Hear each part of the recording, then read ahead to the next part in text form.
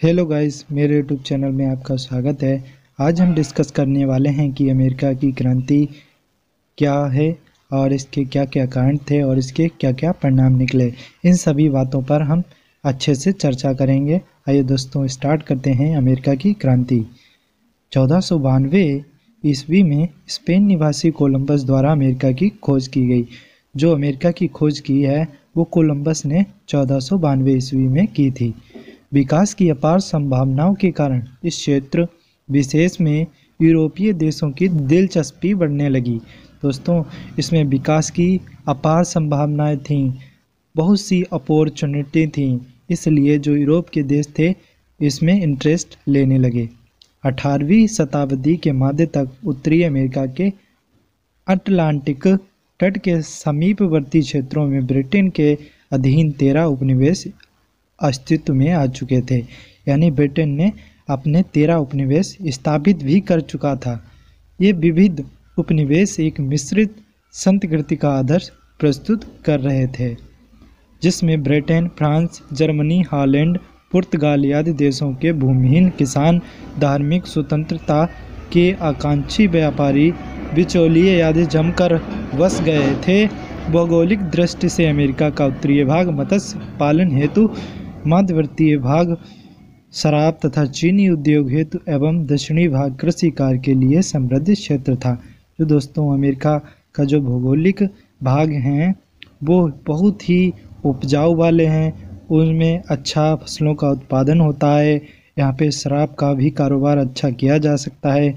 मछलियों का पालन भी अधिक मात्रा में किया जा सकता है। यानी इन सभी चीज़ों के लिए जो जगह बेहतर होती है उसे हम भौगोलिक स्थिति में सर्वोच्च मान सकते हैं कि जहाँ प्रत्येक सुविधाएँ हों, वही भौगोलिक स्थान अच्छा रहता है। दोस्तों, इसीलिए यहाँ पर ब्रिटिश अपना उपनिवेश स्थापित करना चाहता था।